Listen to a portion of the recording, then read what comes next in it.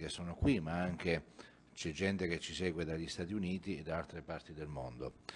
Eh, sono stati già salutati gli ospiti, i relatori e qui adesso vicino a me il presidente amministratore delegato di Cinecittà, dottor Roberto Cicutto, e lo invito a portarci un saluto. Grazie mille, grazie onorevole, grazie venerabile Abate, grazie Adrian Paul, grazie Jordan River.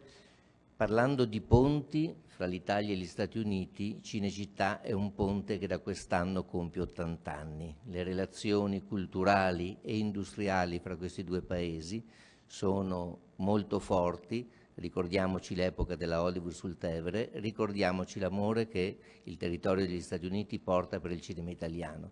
Proprio noi l'anno scorso, assieme alla RAI e dei produttori privati, siamo arrivati a sfiorare l'Oscar con un documentario che parla di ponti e unione, fuoco a mare sulla tragedia dei migranti dal Nord Africa verso le nostre coste.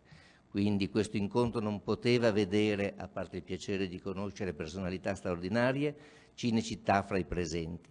Io mi auguro che attraverso progetti industriali ma culturali finalmente abbiamo capito che il valore della definizione industria culturale non va a scapito né della parte industriale né della parte culturale e che quindi attraverso questo tipo di scambio perfetto siano salvaguardati i contenuti e sviluppate le relazioni che possono portare ricchezza e benessere ai due paesi. Grazie per avermi invitato e mi auguro che la visita a Cinecittà che il venerabile Abate, Adria e gli altri amici faranno dopo questo incontro sia ispiratrice di voglia di lavorarci, di voglia di portare progetti nella linea che abbiamo appena indicato e quindi non posso che dirvi arrivederci a Roma e verrò a salutarvi a Los Angeles. Grazie.